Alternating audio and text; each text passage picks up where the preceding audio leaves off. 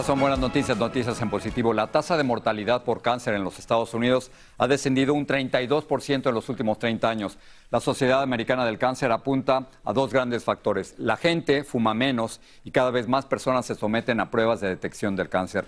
Una de estas historias de supervivencia y de optimismo es la de nuestra compañera Lourdes del Río, quien venció el cáncer del seno y ahora se encuentra aquí con nosotros. Lourdes, qué gusto verte aquí. Increíble, un gusto maravilloso. Lo habíamos hablado, me dijiste la próxima vez verás que nos vemos en persona y aquí estamos. Y aquí estamos. Aquí estamos, súper feliz. Y, estar es mucho ya, ¿no? Sí, señor, es bastante. Es retomar o al menos comenzar a retomar tu vida, todavía obviamente con las diferencias que, que hay luego que pasas por un proceso como este, pero yo súper feliz. Llegar aquí, yo me sentí toda la semana pasada, que fue cuando regresé, como si estuviera en Disney, viendo a todo el mundo, feliz, haciendo lo que me apasiona.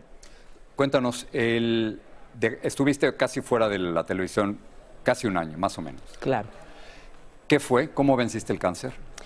Yo a todo el mundo le digo lo mismo. Yo me fui por la medicina tradicional, pero lo ataqué por todos los francos. Mi espiritualidad se creció mi positivismo también y haciendo todo eso, yo creo que fue que logré vencerlo. Nunca, como te dije en la entrevista que hicimos virtualmente, nunca me declaré como una persona que iba a morir, sino todo lo contrario, como una sobreviviente y ahí fue. Lo peleamos y aquí estamos. Tenías eh, y tienes todavía tu podcast en, en positivo. Y, yo te decía, y lo sigo creyendo, que fue una forma de prepararte para lo que venía, ¿no? Totalmente, totalmente. Me lo confirma, cada paso que di me lo seguía confirmando, porque fue tanto lo que yo recibí de ese podcast, creyendo que daba, que sí daba, pero estaba recibiendo muchísimo en términos de, de conversar de esa manera, de ver la vida de esa manera, de llevar gente que ha logrado cosas porque piensa de esa manera y fue maravilloso. El podcast me ayudó muchísimo, me dio muchísimas herramientas y tan pronto tuve la capacidad física de hacerlo, lo retomé. El primer capítulo lo hice eh, en solitario porque creo que tenía que dirigirme a la audiencia y a la gente que nos ve. Explicándoles lo que habías pasado. Explicándoles y hablándoles desde el corazón, como es todo el podcast. Tú has estado, me has dado el privilegio de estar en él y tú sabes que es una conversación sin libreto donde vamos de un tema a otro según nos va llevando el viento. Y eso fue lo que yo hice en ese, en ese primer episodio. Tú has dicho que el cáncer es como la vida, se va viviendo de acuerdo a cómo tú decidas manejarlo. ¿Cómo lo manejaste? Lo manejé en positivo, verdaderamente. Nunca, yo me levantaba por la mañana y nunca, nunca sentí lástima de mí misma. O sea, yo lo que entendía era que estaba pasando una situación muy crítica que tenía que enfrentarla por todos los flancos, repito, y además me, siempre me mantuve pensando en el final yo cuando la gente me decía, bueno, ¿y qué te han dicho de cuando vengan las radioterapia? Yo le decía, no, yo no sé nada de eso, porque yo todavía estoy con lo de las quimios. Y cuando no se sabía que iba a tenerme que dar quimio, estábamos en lo de la operación, yo le decía, no, eso yo lo averiguo cuando se acerque. ¿Por qué?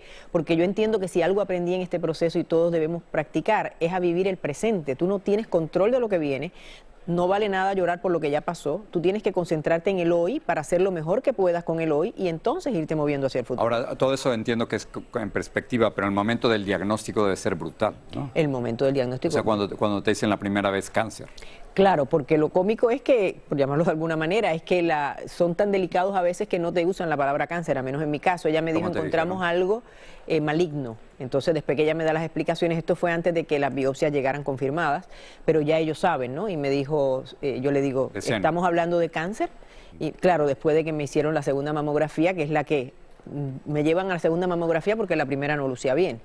Y entonces ella me dice, yo le pregunto directamente, ¿Are we talking cancer? ¿Estamos hablando de cáncer? Y ella me dice, sí. Y claro, es la palabra, como tú dices, la palabra que te, que te entra como un frío por todo el cuerpo, pero inmediatamente, yo no sé por qué pasó eso, pero puedo decirlo verdaderamente mirándote a los ojos. Intuitivamente en ese momento yo dije, seré una sobreviviente más. ¿Da miedo? A mí me dio miedo, pero yo creo que más que todo algunos pasos dentro del proceso. O sea, en general yo trataba de no pensar, como te digo, en, que me iba a morir. Yo trataba de pensar en, cómo iba a sobrevivir. Pero hay momentos, por ejemplo, un momento que a mí me desarmó es cuando me dijeron que tenía que hacerme quimioterapia, porque todo apuntaba que no, porque se había agarrado a tiempo, por la ubicación, pero llegó una prueba que se llama Oncotype que reflejó que la posibilidad de reincidencia justificaba que se hiciera quimioterapia y eso sí a mí me golpeó mucho porque ya yo creo que yo me daba por yo daba por sentado que no iba a tener que pasar por eso Lloré, ese día yo creo que lloré, y al otro día dije, bueno, ya eso de llorar no me va a resolver nada, ya tengo que empezar ahora a averiguar información, tú sabes cómo somos los periodistas, averiguar todo lo que pueda de las quimios, de cómo hacer que el golpe sea menor y hay que meterle mano y ahí vamos. ¿Duele? ¿El, cáncer o, específicamente las quimios? Las dos cosas. El cáncer no duele, lo que duele es todos esos procedimientos por los que tienes que pasar. O sea, una operación siempre duele, las quimios, o sea, a mí me pusieron un puerto aquí que es una operación, ¿no? Entrar, ponen el puerto y después hay que quitarlo. Em, y por ahí es que te, enchufan, por decirlo de alguna manera, para recibir las, las quimioterapias. La radioterapia no es que duela, sino que, claro, se te quema toda esa parte y también tienes que lidiar con eso. O sea, es, es todos los efectos secundarios que te deja en el cuerpo, algunos de ellos permanentes. Yo ahora, por ejemplo, estoy yendo a cardiólogo porque tengo un problema de palpitaciones, pero yo lo veo todo como cosas menores. O sea, cuando tú ves un caso como el mío en otra gente, han tenido un montón de efectos secundarios. Yo, gracias a Dios, han sido mínimos. Yo estoy agradecida por todo, Jorge. Y, nosotros agradecidos de tenerte aquí.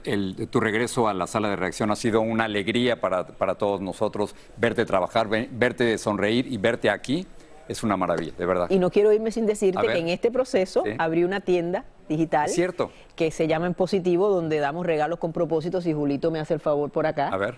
Te traje un pequeño obsequio. Muchas gracias. En, positivo.